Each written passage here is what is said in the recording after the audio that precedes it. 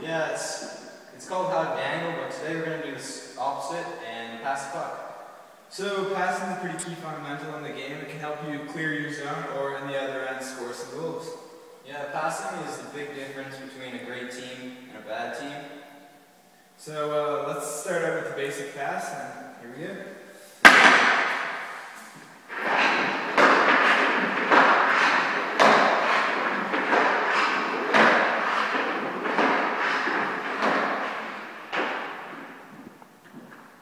So pass is used all throughout the game of hockey. It's a lot faster than skating with the to your teammate, it'll really help your teammate.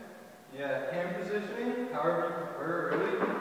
Um, some techniques, really. You just want to do a strong pass, bring it back, release it off wherever you wherever you prefer on the blade the puck can be, and receiving the pass. So when you receive a pass, you really want to cradle the puck. So a good goal would be to make it the least amount of noise possible when you get it.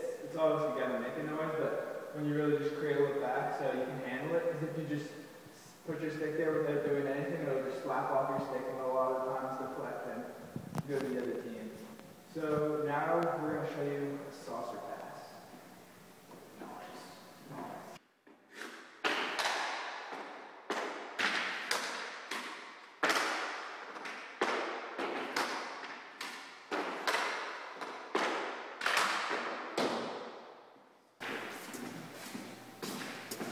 Alright, so the saucer pass is used throughout the game when you really want to get it over your defender's sticks or so they can't get at it. So you lift it, and if they had their sticks down on the ice, you could get it over, or if there's a big crowd in front of the net, you could get it across them to your teammates. Yeah. Some techniques used is you really want to put some pressure on your blade, really to get the blade on the ice so that you can get it up and lift it and slide it from the heel to the toe to get it nice and flat and like a saucer, really. Yeah, so it won't be all wobbly and stuff. So now we're going to show you how to pass to a person that's moving.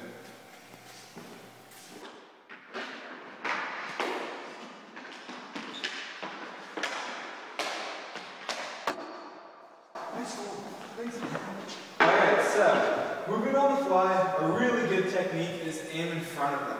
Because they're going to be moving, you want to pass it into their blade. So you don't want to pass it where they're at, you want to pass it where they're going to be.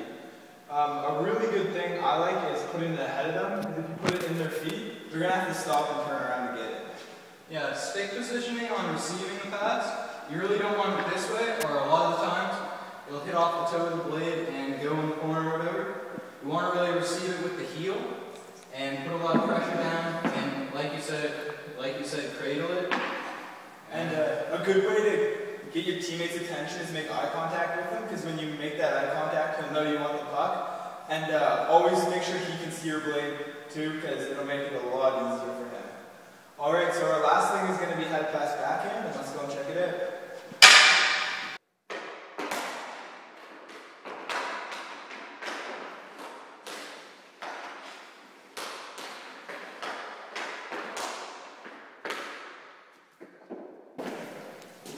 Alright, so the backhand's probably the player's least favorite thing, but it's a great skill to learn, so you guys should really pay attention. Yeah, so you really want to bring it back for some techniques here and release it off the heel. It's kind of hard to control where it's going and the players can't really tell because the backhand, they don't know exactly where, what direction it's going. So, yeah, a backhand's uh, also about the same fundamentals too. You want to cradle it. I didn't do too good of a job there. And you want to like, if you want to get it off quick to as your cradle, you could use that as your motion and use that motion to give it back to you to another player. Sure. So, that's the end.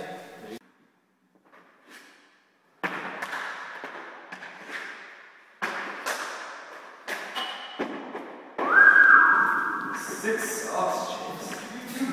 Alright guys, thanks for watching. I really appreciate your support over the past few months since the channel got up. Don't forget to comment, rate, and subscribe.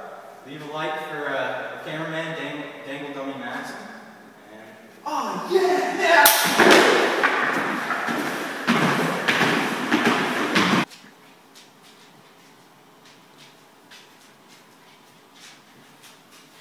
Six sauce.